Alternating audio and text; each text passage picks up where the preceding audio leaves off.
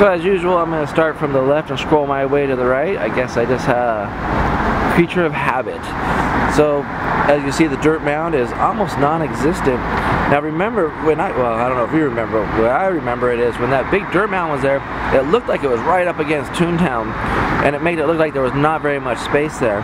But now that it's gone down, and after you look at the satellite images, you can totally see that there's a lot of space between that and Toontown. Which is, makes it weird because they put this structure diagonally here. Well, I'm sure they did it for a purpose. I'm sure they know what's going on. But um, I guess everything behind that I'm assuming is going to be backstage. But you know how they are. They can put a queue line and put a building um, backstage and you wouldn't even know you're backstage when you're inside the, the ride show building. So who knows how it's going to be, but there's a lot of digging going on over here by the building. Uh, you can see they're doing more work there. I think it's time for them to start building the second show building. And now that they got a lot of the dirt in place, and you're going to see as we scroll through, a lot of the dirt and the landfill and stuff and um, the sides to berms and hills and everything are starting to really take shape. You can see that's where all that dirt went. Now they don't have to store that dirt anymore they'll probably start building that uh, second show building over there, or at least start getting the uh, base for it, or digging another basement. Who knows? Maybe that one requires one too. Over here, you can see they've done more grading on the, um, definitely smoothing out the land and the dirt there, uh, making it more of a permanent hill right there where they're not going to be taken away from it anymore. It looks like it looks like they're really starting to sculpt. I guess would be the word. They're going to sculpt the uh, terrain around this area now. If we come over here, you can see the uh, Fantasyland entrance. Not a lot changed. You can definitely see rock work to the right of it. Um, I'm interested to see what's going on over there, but uh, I'm gonna have to move the camera angle over to get the uh, Frontierland entrance. But before that, we want to check out the Fantasmic storage.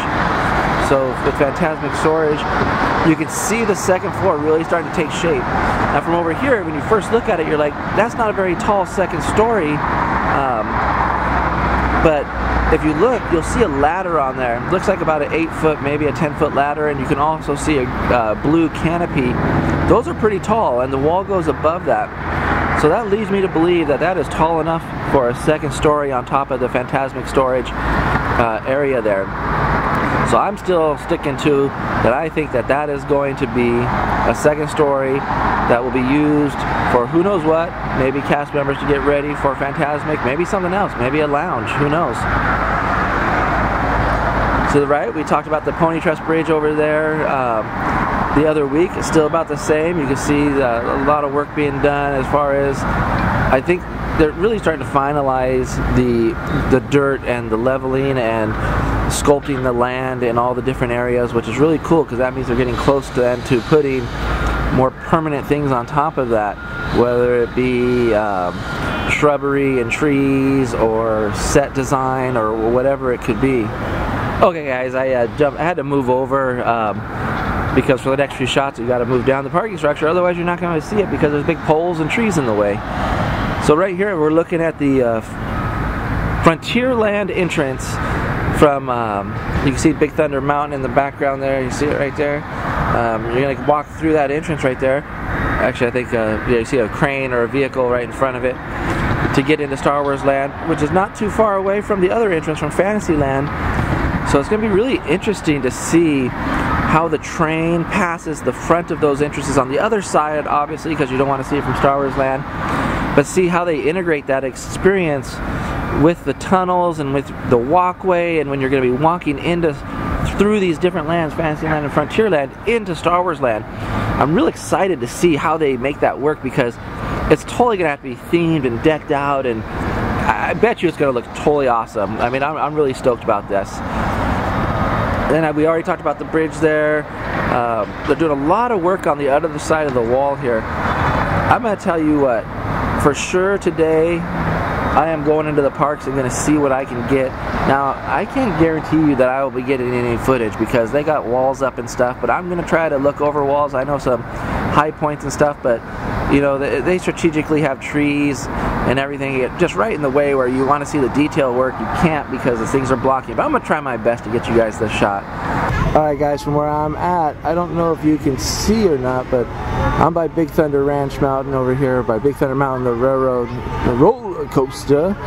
And I cannot, this willow tree is in my way, but you can kind of see the white bridge behind it there, and they're doing some construction. I'm to try to move closer, but this ground was a little bit higher up than the other ones. See what we can find.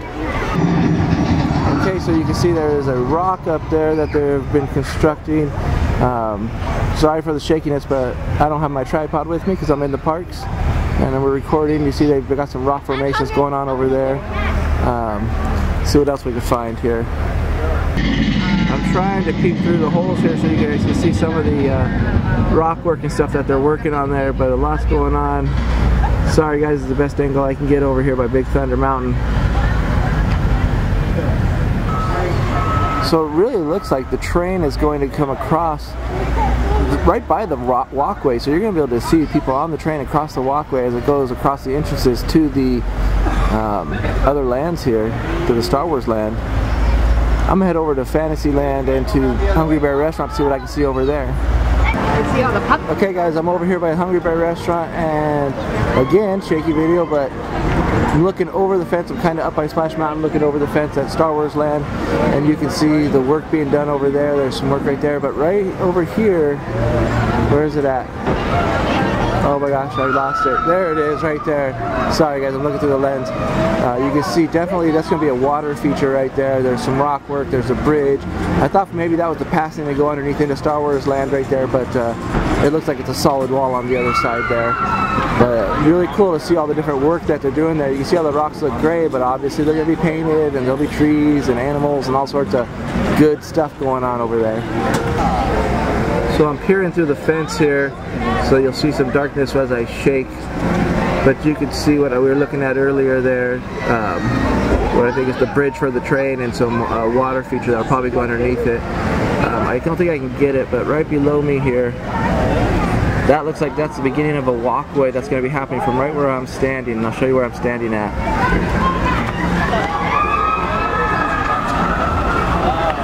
Standing right across from the entranceway to standing right across from the entranceway to um, Critter Country. And there's the Hungry Bear restaurant. So you see that we think the entranceway is going to be right next to the Hungry Bear restaurant.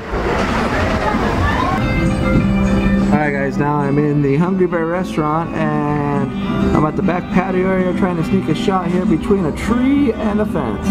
But you can see there's a lot of work going on back there pretty much the same shot as before, but some different, uh, different angle. Um, so over here, last week somebody pointed out, it was really great, you know, I talked about the wall being extended to where the train is crossing, and they had said they saw a cart go by, and I saw that in post-editing. It's hard to see those things when you're videotaping because a lot of times I'm looking into the screen and I'm talking, or even I'm looking over there, but I might be looking a different direction when I'm talking about something. But they said that the you know perception is from here when you're looking through a lens. It's it's it looks a lot smaller the opening from over here, but it's probably a lot bigger than it is. Um, than it looks. Not that it is, because it's the same size that it is, but it's probably a lot bigger than it looks. So for sure the train's to be going over there. Um, and we got, we were assuming we're still walking through between those uh, three, you know, the white tarps that are surrounding the Hungry Bear restaurant patio area there and the wall to the left. Um, we're assuming you're to be walking through there and then coming into Star Wars land through this back wooded area, which with the concept art looks like they can do some really cool stuff in this area. So I'm really stoked about that, really excited to see that happen. Um, I think a lot of the work, I mean there's a lot of work going on on this side too. Let me zoom down here. I mean, you can see all the forms and all these things happening, um, but I think there's a lot of work also happening on the other side of the walls because that's going to open up way before uh, Star Wars lands open up. They're going to open up River America, uh, Rivers of America this summer, and then Star Wars Land could be a whole another year away from that date. So, you know, depending on if there's any delays or anything like that, we'll see though. Um, nothing really going on with the wall at the bottom of your screen there behind those trees. Same, same wall, same location. Nothing's moved. So check it out guys, there is a new slab of concrete on the ground right there, going all the way up to the basement. You can see it, uh, it looks permanent. I mean they got some forms on the side of it, so looks like we have our first uh, permanent concrete on the ground near that uh, basement area. Alright guys, I hope you enjoyed this video. Um, I'll be back next week. Uh, actually, I'll be back this upcoming weekend and I'll probably shoot another Star Wars Land video because I like to keep you guys updated. I know a lot of you guys don't live around Disneyland and these are the only chances you get to see is what you see on YouTube of what's happening at the construction sites. So if you like these videos, hey, I you know subscribe to the videos. I put these in a separate playlist. Right now I'm doing Vlogmas, um, so I am posting a video every single day about just different things in general my life, uh, usually related to Disney. This morning, well, not this morning for you guys, but on my channel we posted uh, the City of Orange Christmas tree lighting ceremony. But if you like these videos, subscribe, give us a thumbs up, leave us a comment, all you construction guys out there and gals. Um, tell me what we're seeing, because uh, like I always say, I have no idea. I'm just a fan of Disney. And as usual, here's a montage of time lapses.